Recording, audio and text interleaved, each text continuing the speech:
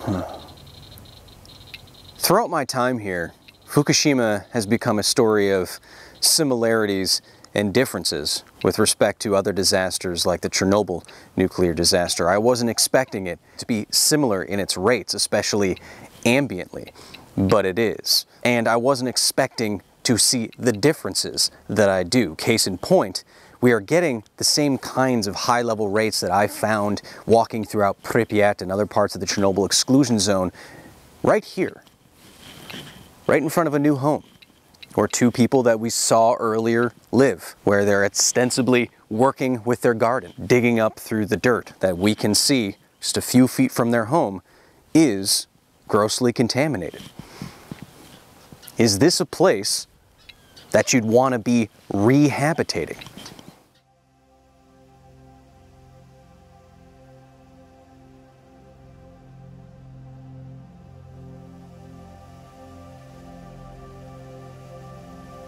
After multiple reactor meltdowns in 2011, over 160,000 people were evacuated from the cities and towns surrounding the Fukushima Daiichi nuclear power plant.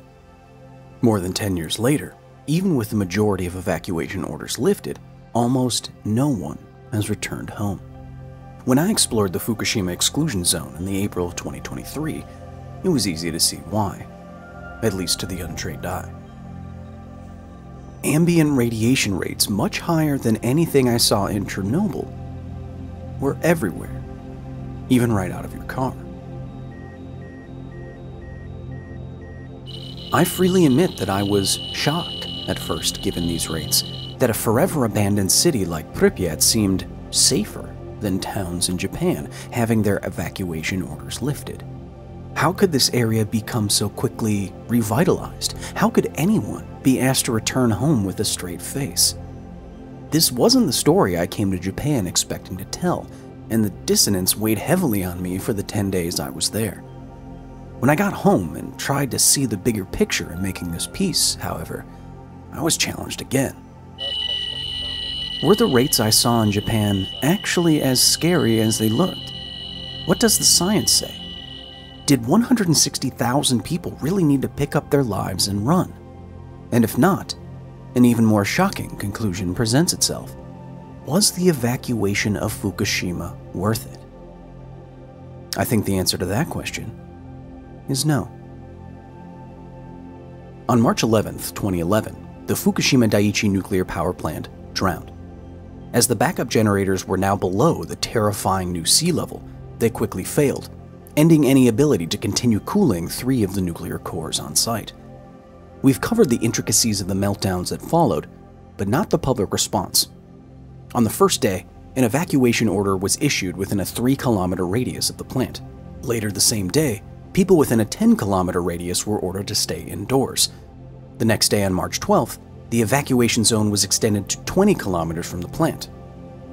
This is what the evacuation orders looked like by that April a strict evacuation zone, a planned evacuation zone, and a prepare to evacuate zone.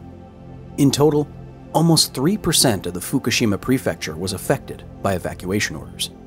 By 2017, six years after the meltdowns, many evacuation orders had been lifted, the exceptions still being the so called difficult to return zones, closest to the plant and directly under the radioactive plume it produced.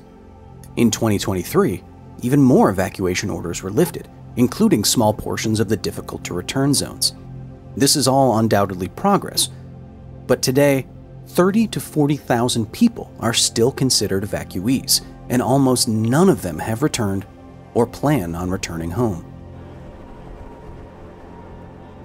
Entering one of the abandoned houses here in Fukushima, it strikes me as a Japanese Pripyat. You see the indications of where people hastily brought whatever they could with them and left everything non-essential behind. You have in closets behind me toys, food items, a calendar reads 2011 when the people evacuated. Unlike a Chernobyl-like disaster, there was also an earthquake and a tsunami. You see the results of that. You see beautiful old shrines shaken down to their foundations. You still see damage where the tsunami swept out everything in its path and it hasn't been rebuilt. You have three different disasters acting at the same time in this area, and the only thing that can really tell the difference between them is this. If there's a factor that connects all major nuclear disasters besides radiation, it's poor communication. Like Three Mile Island before it, Fukushima was a PR disaster on top of a nuclear one. The communication efforts of the Japanese government and plant operator TEPCO are now widely considered to be at the very least seriously lacking, and at most, potentially dangerous. Did the people of Fukushima have to stay or go? Shelter in place or evacuate? For how long? Could you eat the local food? How much radiation was too much? How could the public be sure of that? All of these questions were mishandled in one way or another, which in turn both increased the mental health burden among evacuees and extended evacuation timelines. Thousands of people picking up their lives when poor communication is all they have to go on will inevitably be chaos. And in Fukushima's case, the mass movement was based on the recommended radiation dose limits of less than, more than, and much more than 20 millisieverts per year, or 21 thousandths of a sievert, a unit that links radiation to the biological effects of ionization. According to the International Commission on Radiological Protection, the acceptable dose rate for members of the public in an emergency situation is between 20 and 100 millisieverts per year. Outside of a disaster's immediate aftermath, 1 to 20 millisieverts a year is acceptable, the latter being the equivalent of a single CT scan. This map was created just weeks after the meltdowns. How many areas have rates higher than the 100 millisievert per year limit? None. How many areas have rates higher than the 20 millisievert limit for the long term?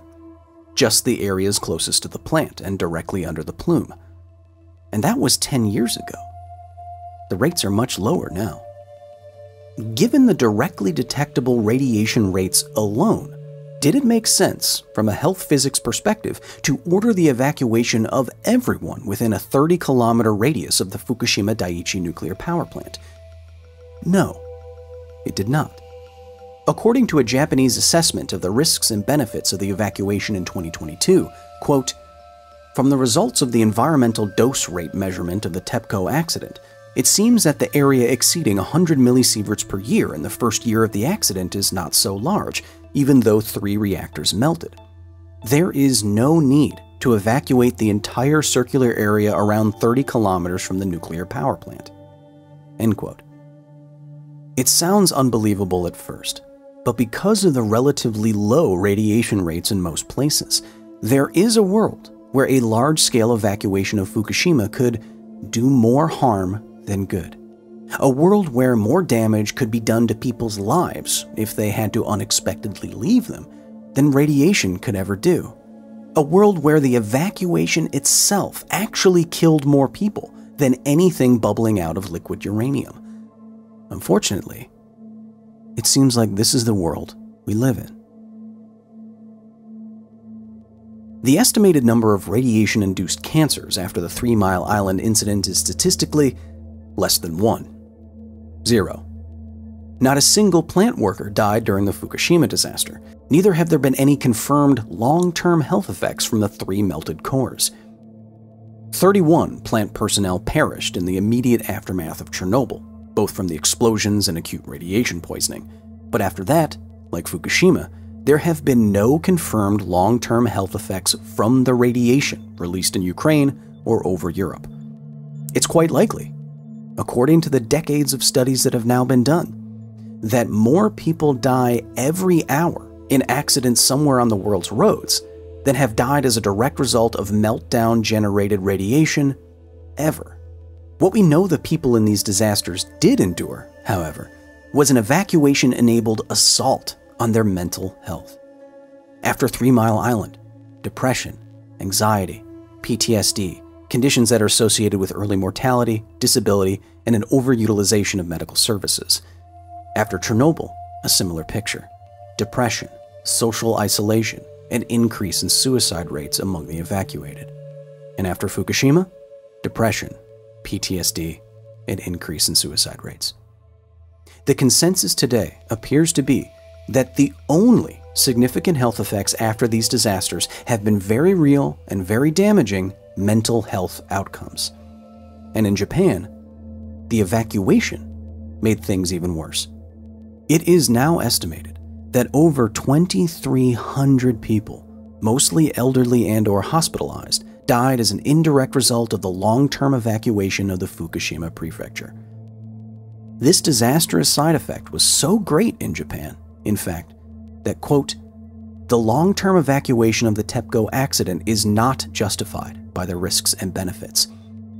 It has done more harm than good. End quote.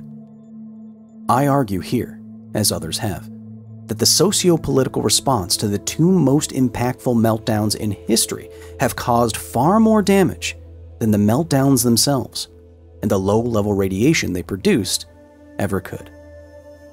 This possibly shocking statement deserves a counterfactual. If the radioactive contamination from any meltdown was substantially higher, like the lethal rates inside of a reactor core, then long term evacuation would obviously do more good than harm, save communities, save lives.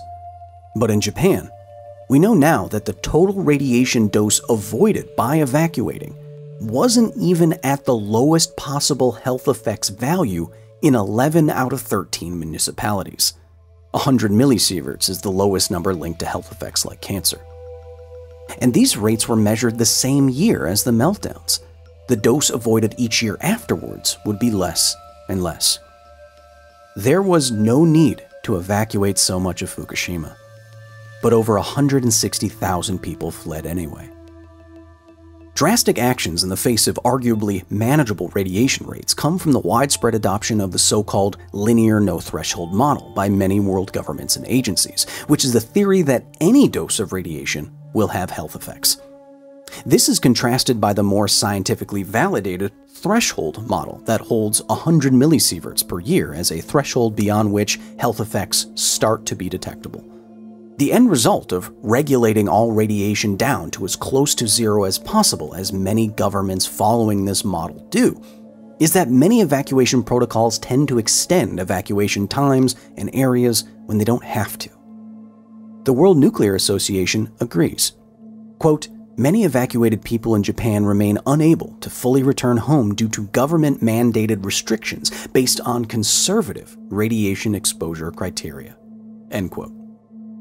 We know now that the real pain and suffering in Japan is not from radiation sickness, it's from homesickness.